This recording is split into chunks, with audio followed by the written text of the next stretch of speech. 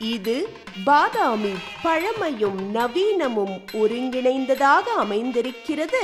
திருக்கோவில் தொடக்கத்தில் இங்கே காணப்படும் இடத்தில்தான் அம்பிகை சந்நிதி கொண்டிருந்ததாகவும் பிறகே தற்போதுள்ள இடத்தில் ஆலயம் அமைந்ததாகவும் சொல்கிறார்கள். ஆலயத்துக்குள் நுழையும் முன் மிக பெரிதான தீபஸ்தம்பங்களை காண்கிறோம். ஆலய பகுதியை கவனிக்கும் போது அங்குள்ள தூண்களைப் போல வேறெங்கும் பார்க்க முடியாது என்று துணிந்து சொல்லலாம். அவ்வளவு நேர்த்தியான நுட்பமான கலை வடிவம். அதே போன்று நுண்ணிய புடைப்புச் சிற்பங்களை ஆலயமெங்கும் பார்க்கிறோம். ஆலயத்தினுள்ளே விநாயகர் ஹனுமன் என்று ஒவ்வொரு பிம்பமும் அழகுற வடிக்கப்பட்டிருக்கிறது. தகடு வேயப்பட்ட கொடிமரத்தை காண்கிறோம்.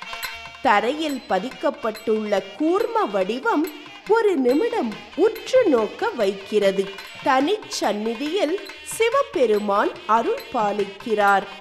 அவருக்கு எதிரே நந்தியையும் பார்க்கிறோம். மூலஸ்தானத்தில் எட்டு திருக்கரங்களை கொண்டவளாக அவற்றில் ஆயுதங்களை தரித்தவளாக காட்சியளிக்கிறாள் ஸ்ரீ வனசங்கரி என்கிற வனதுர்கை.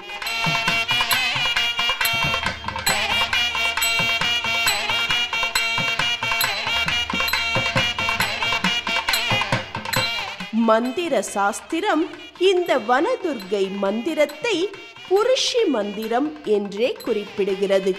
தம்மை துதிப்பவர்களின் துயரங்களை போக்குவதில் பெரும் ஆவேசம் கொண்டவளும் பகையை அடியோடு களைபவளுமான வனதுர்கையை உபாசிப்பவர்களுக்கு எந்த விதமான ஆபத்துகளும் அணுகாது என்கின்றன சாத்த தந்திரங்கள் மூன்று புறமும் மலைகள் நடுவே நகரம்.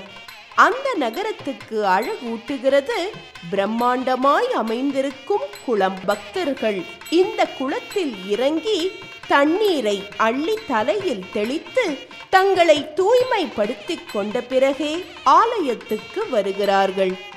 அப்படி பெருந்திரளான பக்தர்களை கவர்ந்திழுக்கும் அருள் பெருக்காக இங்கே கோவில் கொண்டிருக்கிறாள் ஸ்ரீ வனசங்கரி வனத்தில் இடம் கொண்ட காரணத்தால் வனதுர்கை என்றே ஆராதிக்கப்படுபவள் இந்த அம்பிகைதான்.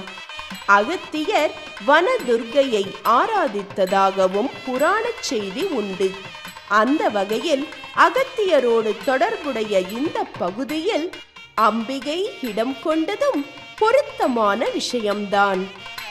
ஏழாம் நூற்றாண்டில் இந்த ஆலயம் எழுப்பப்பட்டதாக சொல்கிறார்கள். மூலஸ்தானத்தில் காட்சி தரும் அதே திருக்கோலத்தில் உற்சவ அம்பிகையையும் காண்கிறோம். அதே போன்று சிம்மவாகினியாக காட்சி தருகிறாள். தம்முடைய எட்டு கரங்களில் ஏடு கத்தி கேடயம் மணி அசுரத்தலை சூலம் உடுக்கை கிண்ணம் ஆகியவற்றை தரித்த கம்பீரமான திருக்கோல தரிசனம். ஆச்சரியமாக அம்பிகைக்கும் தாரா பாத்திரம் அமைக்கப்பட்டிருக்கிறது. அதிலிருந்து சொட்டு சொட்டாக தண்ணீர் அன்னையின் மீது சொட்டிக் கொண்டிருக்கிறது. இந்த சந்நிதியை தவிர மற்றும் ஒரு அம்பிகையையும் தரிசிக்கிறோம். இந்த அம்பிகையின் அருகே கல்லில் வடித்த ஸ்ரீ சக்கரமும் அமைந்திருப்பது ஒரு ஆச்சரியம். துர்கை என்கிற சொல்லே துக்கம் அனைத்தையும் போக்கும் என்கிறது மந்திர சாஸ்திரம்.